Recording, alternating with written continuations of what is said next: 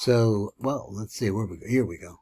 This is Baruch Fleischman here at the Tikkun Elevator Kollel, and uh, it's really my pleasure to be to look at this and just tell a little story.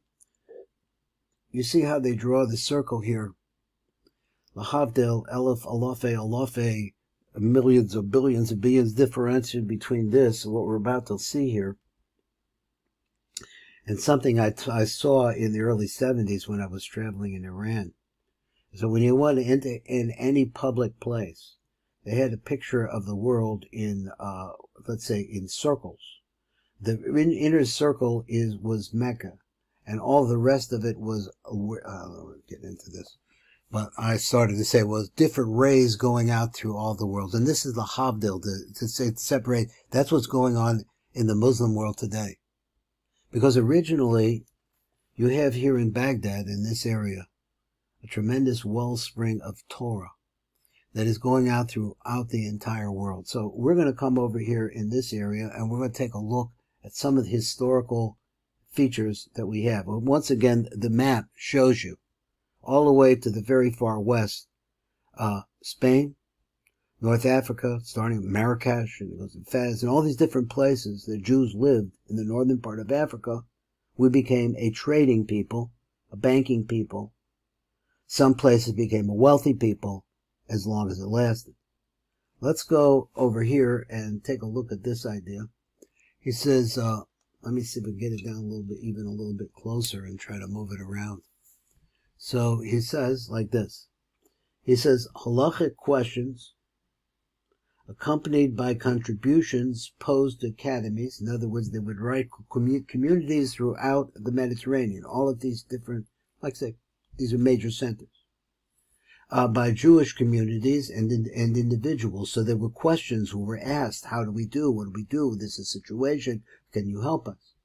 He says the responsa, which is the answers, often dispatched through Egypt, which came through Egypt, and here we have is that this is uh, where the responses started, and here's Fayum and Fustat were Jewish areas in northern Egypt then across from there, all also came through there. The response often dispatched through Egypt from form corpus of, uh, of halachic literature. So this gives us an idea of how we practice Judaism. All came from this center coming out. Now let's find number two. Where is number two? Over here. Youth, a youth from near and far come to study at the academies. And once again, he's pointing here to Pumbedisa, and, and we know that Sura, those two. Most return home as scholars, and some establish their own academies, some appointed as rabbinic judges. Number three, that was the great thing to have a child. We still have the same thing as true today, who's able to establish himself in a yeshiva or into a, here they call an academy. Number three, Gaonim then, that is from the center, uh, send special epistles. These are different halachic uh, ideas, are, are, are communiques, to Jewish communities in the diaspora. The letter from Sherira Gaon of Pumbedisa to Yaakov ben Nissim of Kairouan lists generations of Jewish scholars.